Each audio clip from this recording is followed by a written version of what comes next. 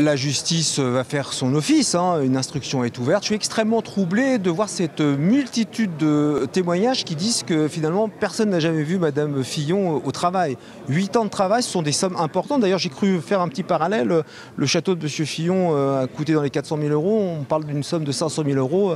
Ce serait quand même très difficile pour celui qui veut être chef de l'État qu'on se rende compte que les deniers publics ont payé son château. Donc vous, imaginez en tout cas que ces soupçons et cette enquête peuvent mener à quelque chose J'attends avec impatience le début de ces explications. Je crois qu'il fait un 20h ce soir. Mais encore une fois, c'est très troublant que tout le monde... Son avocat aurait remis des documents aujourd'hui. Ce qui est troublant, au-delà des documents, c'est que toutes les personnes interrogées, y compris Madame Pécresse, même Madame Valérie Pécresse dit j'ai jamais vu Madame euh, Pénélope Fillon euh, travailler à ses côtés. Donc on va voir tout ça.